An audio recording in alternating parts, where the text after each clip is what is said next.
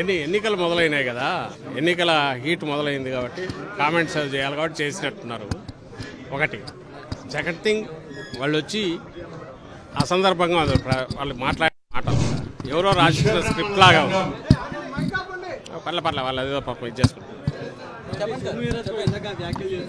ఏమన్నారు?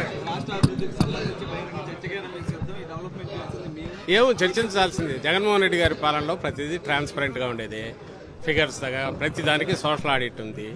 వాళ్ళ సెంటర్ నుంచి వచ్చిన మినిస్టర్లు వాళ్ళే పొగుడుతున్నారు. రోల్ మోడల్ లాగా ఉంది ఆంధ్రప్రదేశ్ అని.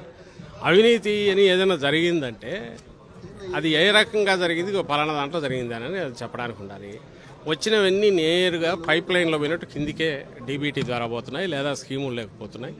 రూపాయిలో రివర్స్ టెండరింగ్ ద్వారా టెండర్ల ప్రక్రియ కాంట్రాక్ట్లు ఇస్తున్నారు. రూపాయిలో తొంభై తొమ్మిది పైసలు కిందికి నేరుగా వెళ్తోంది. గతంలో ఏమైనా ముప్పై పైసలు కూడా పోయేది కాదు. కిందికి నేరుగా పోయేది.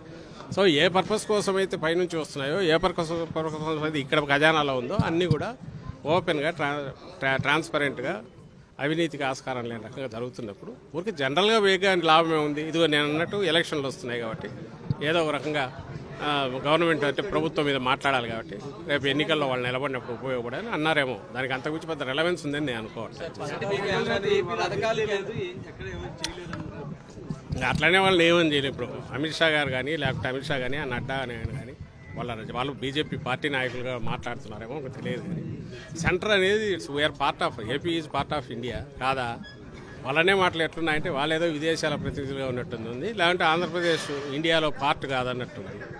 మరి గుజరాత్కు మోడీ ఆయన ఉన్నప్పుడు సీఎంగా ఉన్నప్పుడు ఇదే సెంట్రల్ నుంచి ఫండ్స్ వచ్చింటాయి. ఆ రోజు కూడా వాటిని ఎక్స్పెండిచర్ చేసింటారు. ఆఫ్టర్ ఇక్కడ నుంచి పోతాయి. దేశం మొత్తం మీద నుంచి వచ్చే పన్నుల రూపంలోనూ రకరకాల బయట సెంటర్ పోయి ఆ నుంచి డివాల్యూషన్లో ఇక్కడికి వస్తాయి. ఇందులో ఏదో ఎవరో జోబులో నుంచి ఇచ్చినట్టు మాట్లాడడం అనేది అది కరెక్ట్ కాదు. రెండవది ఖచ్చితంగా కేంద్ర ప్రభుత్వంగా వాళ్ళు ఇచ్చిన వాటిని గురించి చెక్ చేసుకోవడానికి వాళ్ళకి ఎప్పుడు అవకాశం ఉంటుంది.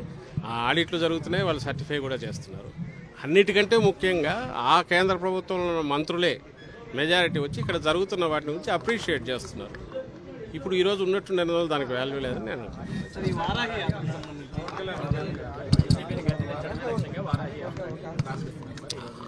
ఆయన ఇప్పుడు ప్రతిసారి అంటూనే ఉన్నాడు గద్దె దించడం లక్ష్యంగా చేస్తున్నానని. ఆయన గద్దె దించాలంటే మార్గం ఉన్నట్టుంది ఇట్లా డేట్లు పెట్టుకొని మీనమేషాలు లెక్క పెట్టుకొని వాయిదా వేసుకొని ఒక వ్యా- వ్యాన్ తీసుకొని బయలుదేరడం కాదు. ముందు నుంచి చేసిండాలా ప్రజల్లో ఉండాలా? నేను ఎప్పుడు చెప్తుంటా ఆయనకు జగన్మోహన్ రెడ్డి గారి కంటే రాజకీయాల్లో ఇంకా లేదా అంతే ఉందేమో సీనియారిటీ. ఆయన కూడా పన్నెండేళ్ళు పదమూడేళ్ళు అయింది. వాళ్ళ అన్నతో పాటు వచ్చి మొదలు పెట్టాడు. అప్పుడే వాళ్ళ ఏదో ప్రజారాజ్యంలో యువరాజ్యము దానికి ఉన్నాడు. ఆ తర్వాత సొంతంగా కూడా పెట్టాడు. ఆయన పద్నాలుగు ఎన్నికల్లో చంద్రబాబు నాయుడు వేశారు పంతొమ్మిది ఎన్నికల్లో చంద్రబాబు డైరెక్షన్ ప్రకారం యాంటీ గవర్నమెంట్ ఓటు చేయకూడదు చేయాలనే ఉద్దేశంతో సపరేట్ పోటీ చేశారు. ఇప్పుడు మళ్ళీ యాంటీ గవర్నమెంట్ ఓటు చేయకూడదని చంద్రబాబు డైరెక్షన్లో ఈ లైన్ తీసుకున్నాడు అందుకే జగన్మోహన్ రెడ్డి గారిని దించడం అనే లక్ష్యం అని చెప్తున్నాడు. అభ్యంతరమే లేదు. ఎందుకంటే ఎన్నికలు ఉండేదే దానికోసం. మేమంటున్నది ఏంటంటే ఈ పదేళ్ళు ఏమైనా తిరగొద్దని ఎవరన్నా అన్నారా? ఈ రోజే వారాహి చేసుకొని బయలుదేరాలా? ముందు నుంచి తిరగచ్చు ప్రజల వల్ల సమస్యలు తెలుసుకోవచ్చు పరిష్కారం చేయొచ్చు ఖచ్చితమైన విధానపరమైన వ్యయం తీసుకుండొచ్చు. ఎక్కడ ఇంతవరకు అలాంటిది లేదు. ఉంటే కదా ఆయనకు అలాంటి ఆలోచన లేదు ఓపిక ఉన్నట్లేదు సినిమాలో కదా నాలుగేదో స్క్రిప్ట్లు రాసిస్తేనో ఒకటేదో సీన్లు వాటి కోసం వస్తే సెట్టింగ్ చేస్తే ఆడ ఆ కెమెరా ఆన్ అనగానే ఆన్ చేసి యాక్షన్ చేసి పోయే రకంగా మా చేస్తున్నారు తప్ప ఒక ఖచ్చితమైన ఆలోచనలతో రాజకీయం అంటే ప్రజలకు సంబంధించింది అనే ఆలోచనతో ఏదే ఆయన చేస్తున్నట్టు కనపడట్లా.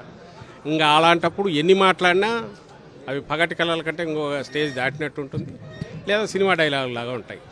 ఇదో సినిమా డైలాగులాగా దించడమే మా లక్ష్యం అనడం లేదా మేము వీటన్నిటికీ అధికారం మా లక్ష్యం కాదనడం లేదా ఇంకో మాటలు మాట్లాడడం ఇవన్నీ స్క్రిప్ట్లు మాదిరే ఉంటాయి తప్ప రియల్ ఒక పొలిటికల్ పార్టీని హెడ్ చేస్తున్న నాయకుడిగా అయితే కనపడవు. రెండవది ఏమైతే నేను చూశాను అసలు దానికి ఆ ఎన్నికల కమిషన్ నుంచి ఎవరు ఆర్టీ కింద తెప్పిస్తే దానికి అసలు బాడీ లేదు అది దానికి ఏమంటారు ఒక ఒక సంస్థాగతమైనది లేదు సింబల్ కూడా ఉందని నేను అనుకోవట్లా. ఏమైనా ఏమన్నా గాజు గ్లాస్ ఎవరు తీసుకోకపోతే ఇస్తారేమో తెలియదు కానీ ఏ రకమైన ఇది లేదు. కేవలం ఒక హీరోగా ఆయనకున్న పాపులారిటీను దాన్ని దాన్ని పెట్టుకొని దాని చుట్టూ రాజకీయం చేస్తారని మోసం చేస్తున్నారు. వాళ్ళ ప్రజలను మోసం చేస్తున్నారు ఎవరైనా ఆయన నమ్ముకున్న వాళ్ళంటే వాళ్ళని మోసం చేస్తున్నాడు. అది కూడా మోసం చేస్తున్నాడని బహిరంగంగా కూడా చెప్తున్నాడు. ఎందుకంటే తను ఏదో అవుతానని ఆయన అనుకోవట్లా. చంద్రబాబును సీఎం చేయడం ఎట్లా అనేది ఓపెన్గా చేయడమే నా లక్ష్యం అన్నట్టు ఓపెన్గా చెప్తున్నాడు. ఆ రకంగా మోసం కూడా చేస్తున్నాడు. ఏమో తను నమ్ముకునే వాళ్ళని నాకు అనిపిస్తుంది.